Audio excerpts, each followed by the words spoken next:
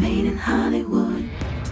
Voice actors deliver the dialogue and exclamations for the characters in an animated motion picture.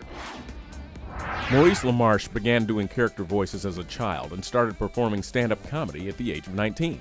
Mr. LaMarche's first voiceover role was on the animated TV show Inspector Gadget, and he's gone on to perform on over 150 animated series. Hey, stop right there! Have a donut, copper! Oh!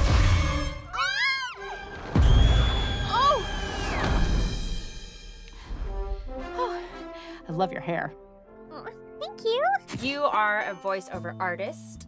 Did you always know that you wanted to voice characters in animated films?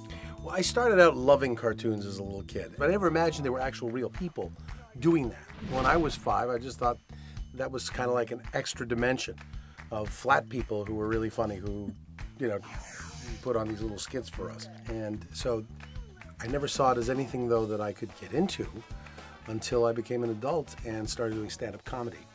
And I had a lot of impressions in my act.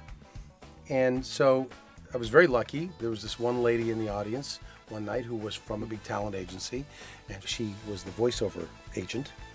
And she kind of picked me and said, you know, you could do voiceovers with all those impressions. So she sent me out on auditions for about a year until I finally got something. And the beautiful thing about this business is it's the closest thing to a meritocracy that exists in show business. If you show up on time and you're easy to work with and you can do the work and do lots of characters and you're a decent actor, uh, they'll ask you back. so it's just it's just been based on that. We gotta go. Whose car is it? The most feared crime boss, Mr. Big. So you never had to go get formal education or training to assist you as a voiceover artist, right? I didn't. I know a lot of people who do. My Can my, you do that? Are, are there There- classes there that you are. go to? There are voiceover workshops, but I recommend that people start out by becoming a good actor, period. You know, voice acting is just acting without needing to worry about hair, lighting, makeup, because all that matters is the performance here. Mm-hmm. And, you know, you can play a bunch of different characters. It's like actors' repertory. You know, you can be five characters in an episode or something. So it's really true acting. It maybe is a little bigger and goofier at times, but you get a chance to stretch, and that's a lot of fun. What did you do that made Mr. Big so mad at you? I, um, I may have sold him a very expensive wool rug that was made from the fur of a skunk. But Oh, sweet cheese and how long during the shooting process are you a part of the production? How many days are you recording? For this film, I probably had about 10 sessions where we just worked on this scene over a course of, I would say, five or six months and just kept honing it. And they kept writing new stuff. Is that Mr. Big? stop talking, stop talking. Isom. Daddy! Ah.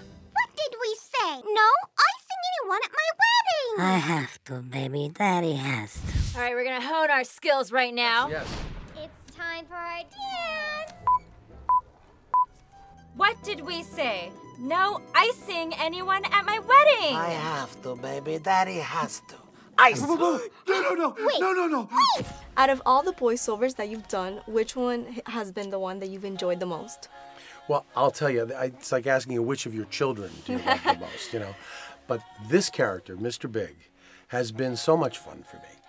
Uh, To, to get to be part of an iconic Disney film like this that has such a great message for not only young girls, the, the message that you can do anything you want with your life if you're willing to work hard for it, but also the messages of not prejudging people, you know, taking people each individually and, and letting go of your prejudices. This is a fantastic film, not to mention it's hilarious, beautifully animated, and there's a fantastic mystery in it that so far nobody I know has solved it without seeing the film. You know, like they don't go, "Oh, I knew that was coming" when the twist comes. So this is great. This is uh, for me. This character is is is right up there, all-time favorites, and he's close to my heart. We may be evolved, but deep down, we are still animals. Quit it. You're gonna start a howl. No! You are naked. For sure, we're a naturalist club. All the way down. Made